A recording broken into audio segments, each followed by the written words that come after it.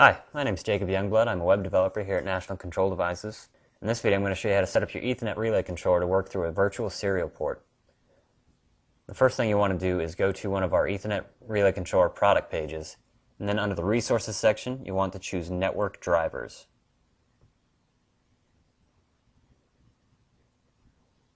Alright, and from here in this drop down box you'll want to choose your operating system and I'm using Windows XP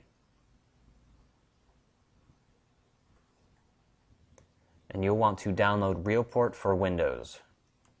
Select that. Save file.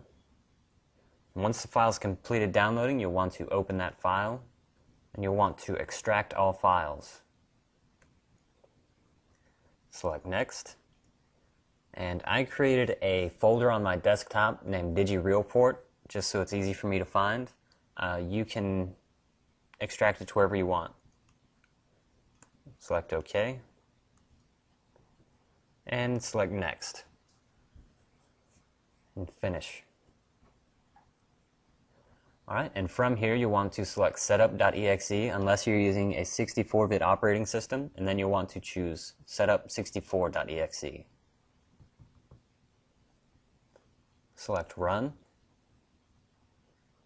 Next.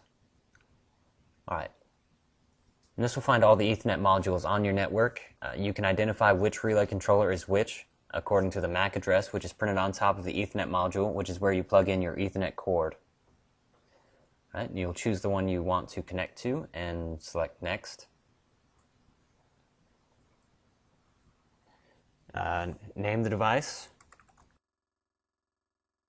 I'll name mine device 1. Choose the COM port you want to communicate to and select Finish.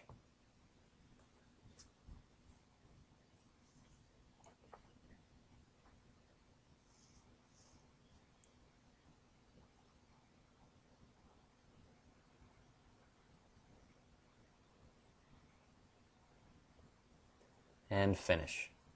Right, exit out of these windows.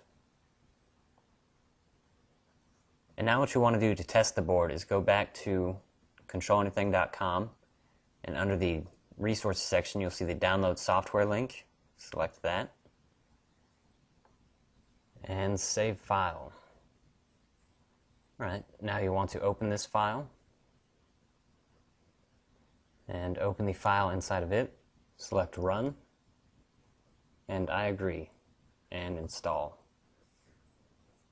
Right now hit close, exit out of these windows. Now what you want to do is go down to the Start menu, All Programs, NCD ProXR, and open the ProXR application. From here you want to make sure you have the right COM port and choose the ProXR radio button. Select OK.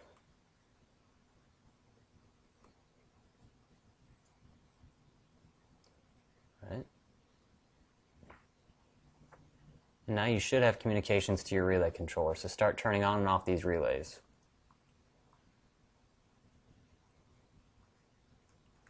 Right, and mine are working fine. Uh, yours should be as well.